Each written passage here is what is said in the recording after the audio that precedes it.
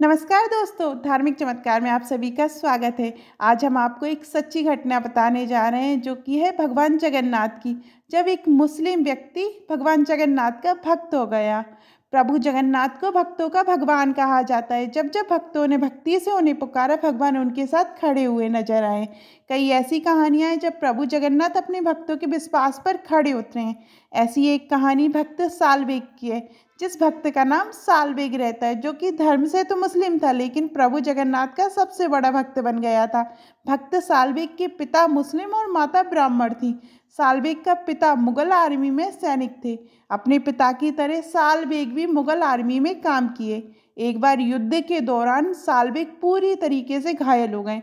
जब सभी को लगा था कि सालबेग ठीक नहीं हो पाएँगे, तब सालबेग की माँ ने प्रभु जगन्नाथ के शरणों में जाने के लिए कहा। जगन्नाथ के आशीर्वाद से सालवेग पूरी तरीके से ठीक हो गए और प्रभु जगन्नाथ का बहुत बड़ा भक्त बन गए।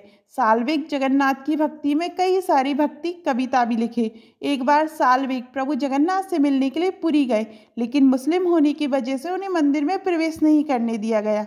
फिर हर साल सालवेग रथ यात्रा के दौरान पुरी जाते थे और प्रभु जगन्नाथ के दर्शन करते थे।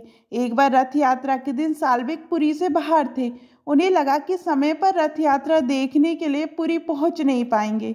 फिर सालबेग ने प्रभु जगन्नाथ से विनती की कि उनके पहुँचने तक वह इंतज़ार करें।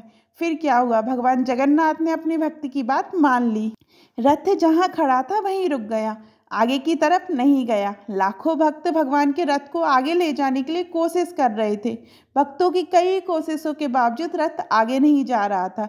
जैसे ही साल्विक पुरी पहुँचे और भगवान के दर्शन कर लिए, तब रथ आगे जाने लगा। इसके बाद भक्त साल्विक की भक्ति के बारे में सभी को पता चला। फिर सालबिक पुरी में रहने लगे।